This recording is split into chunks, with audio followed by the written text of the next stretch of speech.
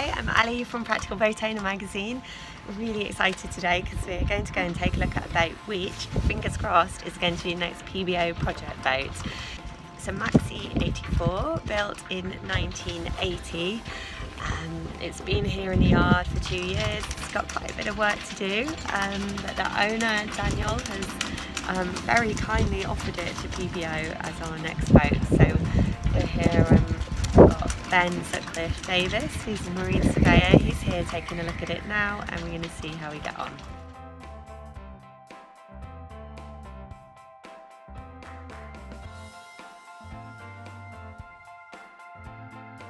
is that surveyors are, should be considered like GPs.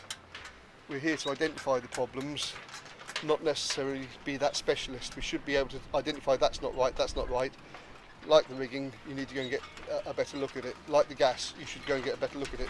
We should identify basic problems, but the more specialist things should be dealt with by specialists. Like engines, when we come to look at the engine on this yacht, you know, I should be able to tell you the general side of it, but I won't be able to tell you the compression of it. That's an engineer's job. Okay, so um, I've scraped back an area here, so you can see a, a fairly loose anti-foul product at the top here which is an incompatible uh, product to the one that was underneath it. And underneath that coating, if you look really close, you can now see a grey and a green, where the epoxy manufacturers have basically used uh, two different colours so that when they've applied it, they can tell where they've been. So it's always a good indication when you see, when you scrape back gently or use a little bit wet and dry, you start seeing the green coming through the grey. Then you know you've got an epoxy coating underneath. Um, so all, all meters are not really moisture meters, I hate to tell you um, they're comparative. So basically the top sides there are running at uh, less than 10. I come down here and they're literally running exactly the same. So that gives me an idea that there's very little moisture in the hull. Now in some of these areas, we're near the anchor locker, we have got a little bit of moisture in here towards the bottom of the hull. So when we go inside we have a little look and see what's causing that. It may be something really stupid like um, some wet clothing or some ropes or even the chain just laying in the bottom of the hull. We'll, we'll throw the meter.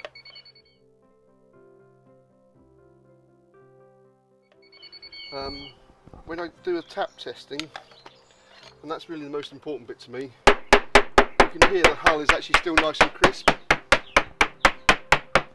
But you can see there's been a small repair here which again looks pretty good.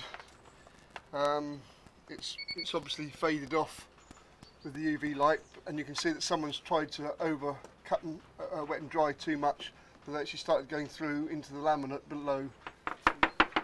So you've got a nice uh, keel joint here, it's, um, it's a stepped keel joint which is actually I think a lot stronger. I'll let you and empty these while I go ahead. You know, you'll be emptying all these for me while I'm doing the outside. Because what's happened in here is the cockpit uh, has had loads of leaves fall and this is what you're ending up with, this is fantastic compost. Gas lockers.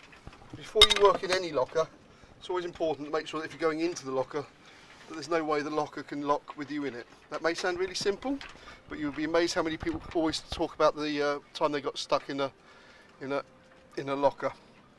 But something you can always do with any gas locker, doesn't matter what age boat you've got, is, is what I call a bucket test basically if you put water in the top, the only place water should come out is through the deck drain, uh, which is going through the stern and you see currently it's going out. But as I suspected, I didn't think it was watertight. Can you see the water running out the bottom there? If you want to look underneath there, you'll see that the backing washers for the winch are all mild steel. So they will need to be changed Last thing you want to do is be hauling on a sail and watch the winch come off through the deck.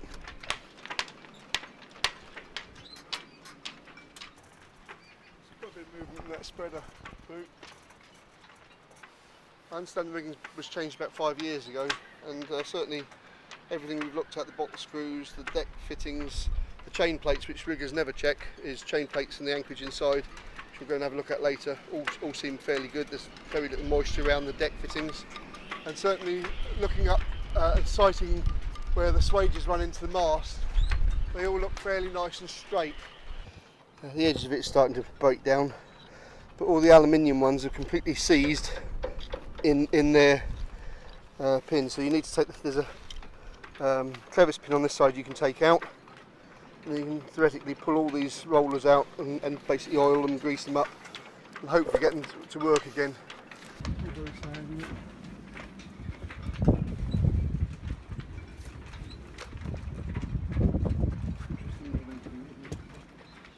A couple of hours into the survey now, and Ben is just beside me in a locker, just hammering around. What What are you checking, Ben? Just make sure the bulkheads are not rotted. Checking the bulkheads are not rotten. where people have done possible. Get the sound back in the room. This is why I think it's supposed to be East Coast boat. Oh, East Coast Sails. I think you said you bought it at East Coast. They're not folded, they're not anything. They're just literally been. It's almost like someone's taken them off and just chucked them in here and just gone away from the boat and it. Yeah.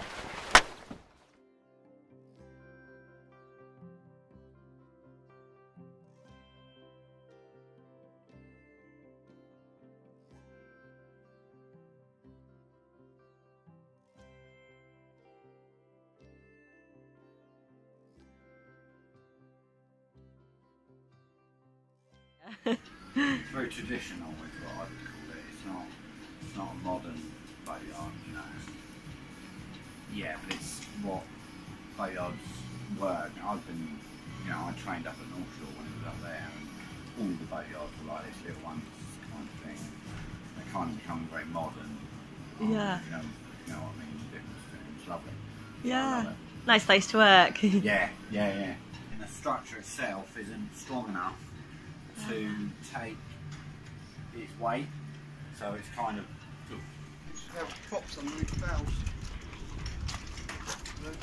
yeah. And you can see the corrosion joint developing along there.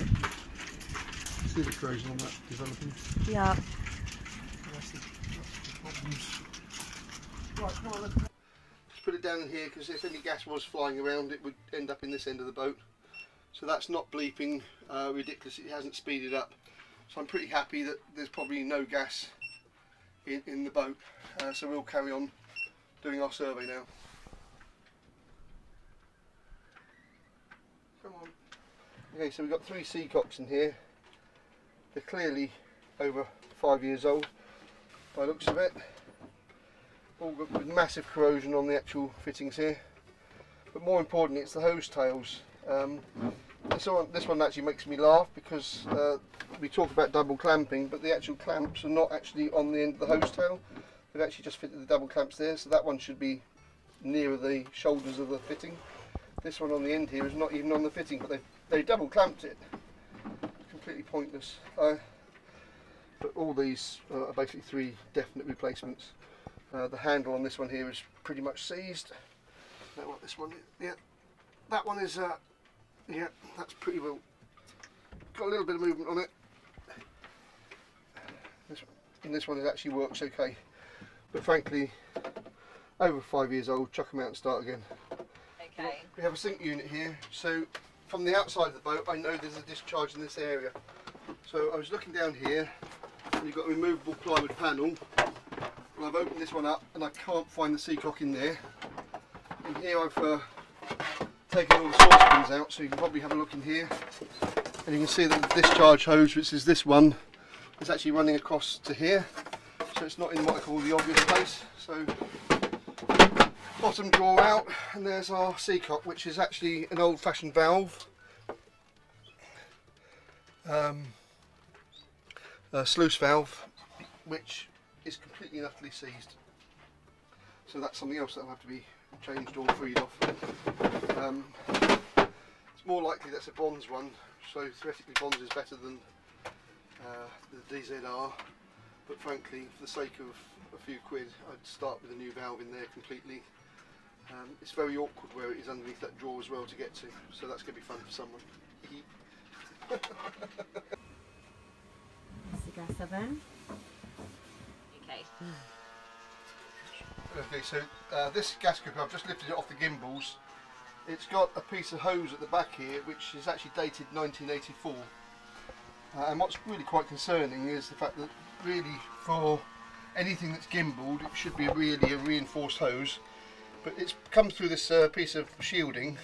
Can you see how the gas hose there has been cut slowly where it's been through the shielding? Just there, can you see it? yeah.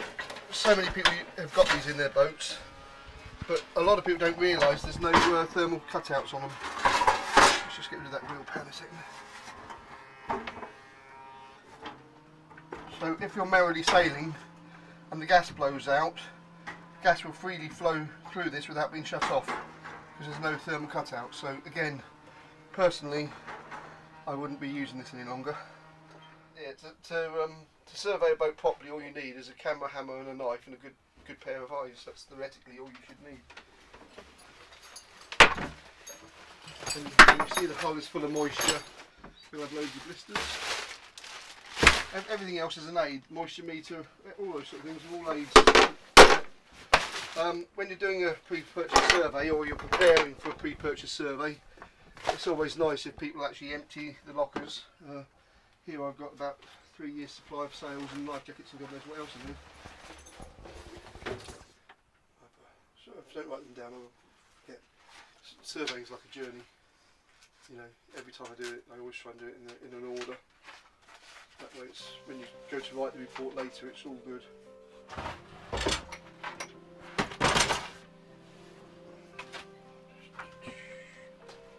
So just looking for structure, making sure everything's glassed in and bolted in, which it should be.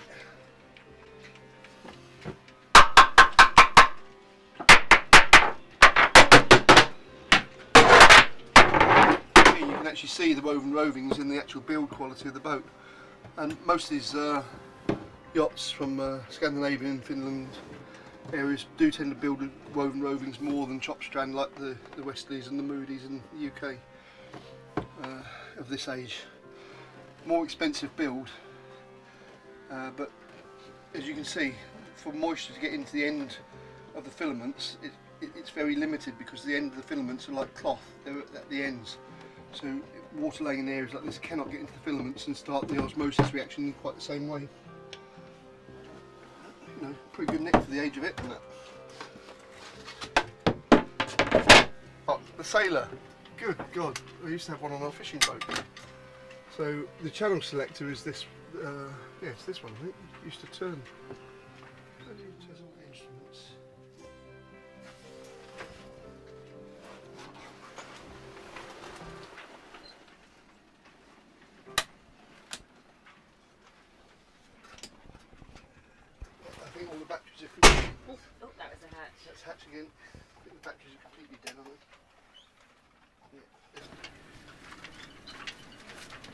All been nicely isolated, but as I say, there's no nothing working.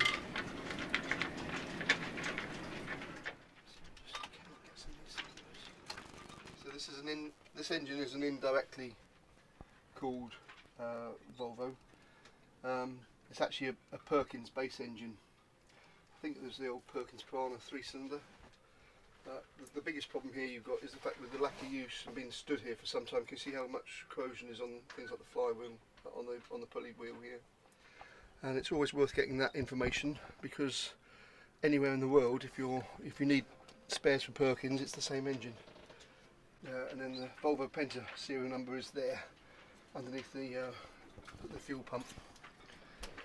It's, it's, they always start with that 510, but it's this last set of digits here somewhere you need, which is not, not very easy read. They're just stamped in.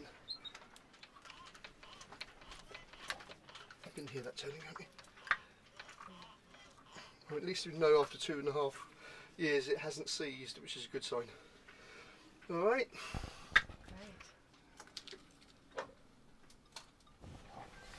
Moan protection, as they say. But they don't feel that bad. I don't know.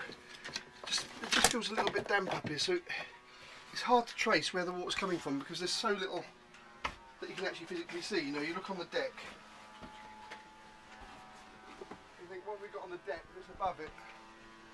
And really, it's, it's the port lights and the gouge. So that if water, because of the double skins, you can feel this is dry in here. So the only place that water can be coming from has got to be the ceiling of the unit. Oh, what's going on here? Where's that moisture coming from? Ah, it's the deck fitting. That's the deck sockets. Okay. Okay, so those deck sockets we got loose. You can see the water is actually running through the internal moulding here and running out through the limber holes that have been fitted for certain items. So that's the water running through the deck, running down into here. And you can see all the rest of it. If I get out of the way, look in there. You can see that water. There, skittle ass pass. You see that? You can see all that water staining. That's not from deck fittings. That's purely water running from the, the wiring of the mast on the deck where it's loose. Good, isn't it? Uh, there's no anti-siphon in, in, this intake either. The intake should also run almost to the underside of the deck with an anti-siphon because there is a risk of flooding the pan because this is just below the waterline. Okay. So um, with sails, again, surveyor can only see so much. To see how good a sail is, you really need to take the boat sailing uh, to get an idea. But straight away you can see this UV strip here has had its day. It's completely worn away and faded and starting to break, break down quite simply. Uh, the sail itself doesn't feel too bad. It's still got that nice little noise to it when you give it a little scrape with your nails. But uh, the main, which is down there, is definitely a lot, lot older than the Genoa. But the best thing to do is get them, get them down to a sailmaker. I always say to people, at the end of the season, take them to the sailmaker. Don't take them to him in March and expect them ready for April. Uh, take them at the start, end of the season. Get them belted before they get all wet and horrible. At least then they'll be kept nice and dry, ready for your collection.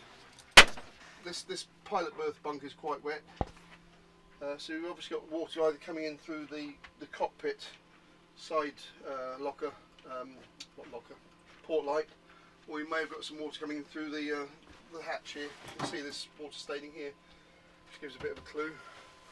But these cushions are very wet, which is always a great shame. But the good thing is they're zippable, so you could unzip them and, get, get them whizzed off. Right, access to the fuel tank here. Got breather, stop tap, three turns and it's earthed. It's got a gauge on it as well. Where did I put my it is. The feeds from that are both copper, which is nice.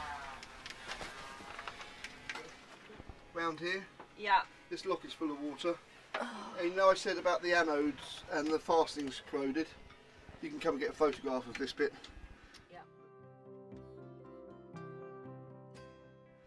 But uh, basically that's very corroded and the, uh, the block is rotten and there's very stagnant water in there. The funny thing is the, the lining underneath this Lewmar hatch is actually quite dry. Ah, I wonder where it's coming from. Hunting for water is the hardest thing ever. You know, where does water come from?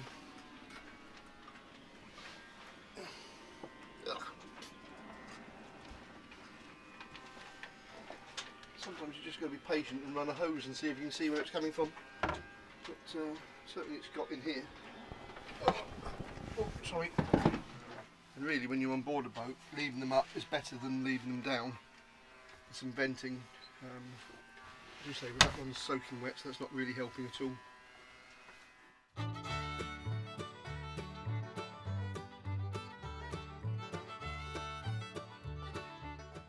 So why are you giving up on this lovely boat? Um, this boat has been fantastic, but I've not been on her for far too long. Um, my daughter was born in 2018. Um, I should get this right. My son was born last year, so Yes, Um, told off if you get those sort of things. it's just there just isn't the time. This has been a fantastic boat for for me. I bought it when I was 30 for taking friends um, from Southampton, where she was for a good sort of five six years, and then from Chichester to to the island over to uh, Lymington um, to have a few drinks and come back the next day.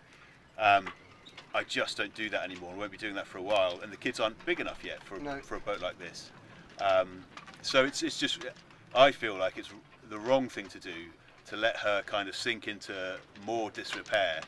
Um, you know, waiting for, for a time when I've got the time to, to fix her up and sail her again. As you've probably seen from the survey. Yeah. The boom. No, Um, it's got none of the running, all the movement wants to be changed. Yeah, exactly. It's this is all the stuff that I, you know, that's quite possibly 20 years old. Yeah, I think so. Yeah, yeah, It's at that point it needs changing. yeah, yeah. But no, that's good. It's good. It's just a shame that um, it's just a shame we've had water getting in, which Yeah. has caused a lot of the framework around this galley area to go rotten. Which That- is, Yeah, I, I, I was wondering about that because that's um, that looks sort of not original, doesn't it? The, the, no, that, that's not far off how it was made. really? Yeah, it was. Yeah, it's um, all this is fairly much as I remember them being being done in the day. It was this bit here that's kind of chipped in to kind of just fit over this yeah, that's latch. right. That, that's, Um, that's what it does. Yeah. oh, that was. Oh, really? That's yeah, yeah. that's factory. On, you're lighting it here. There's a there's a hole in the in the yeah, pipe. th- there's a, there's a bit of a bit of a risk. So yeah, yeah. Lucky, um, lucky nothing went up Yeah. in the last um, ten years. there's a there's a switch in that locker which is completely corroded, but I have no idea what it's for. Quite possibly the fridge. Fridge. Yeah. Okay. And there's there might be some funny stuff up forward as well. There was a, a heater. The one thing I really didn't like the sound of was the um, there was an old-fashioned heater in Yeah. the in the V berth, um, and it ran on kerosene. Um, and I just didn't like the idea One of the old Taylors type things, is it? Yeah, you'll probably tell me it's safe as houses, but I just did not like the idea of sleeping with kerosene next to my head. So I, I, I took that out, uh, sealed the sealed the vent up, and that was uh, that was that. But that's after I bought it. That was apart from sort of repairs. Yeah. That was pretty much all I. The only change I made. Yeah. Um, Summing up of where we've got to today. Um, any pre-purchase survey or condition report, surveyor should be with you on a 30-foot boat, I hope, for at least four or five hours. Today we've been just over six and a half hours on this boat, um, which is a 30-foot yacht. We, we've, we've, I've been able to check the hull condition as best I can, the decks, the rigging, uh, the general structure inside. We found quite a few little things that uh, need doing, but unfortunately, one of the things that I always feel should be available for a pre-purchase survey or a condition report is uh, power. And unfortunately, the batteries on board are no good, so we haven't been able to test any of the, en- the engine systems, uh, general electrics on the, on the boat, navigation equipment, or anything like that. Uh, for a point of view of doing safety checks, basically everything on board the boat is out of date. Uh, so that's a quite simple safety check. And then there's things like uh, ground chain and anchor needs to be looked at, um, and and things like that need to be sorted out. Um, You mentioned um, it was a very dry boat, um, and you were surprised about how dry it was for its age. So that that's a good sign. yeah, Isn't it? yeah. I mean, laminate wise, because it's woven rovings, uh, it hasn't sucked up the moisture like some boats do. Um, so generally, she's pretty dry. But again, we have found areas of water trapped. Uh, we found an area of water trap i- in this aft locker, which showed up on the meter, and again, we found a, a big pool of water in the in the bow locker, where that sail was actually soaking wet in the front there. And and, and what's annoying is it's not obvious where that water's come from.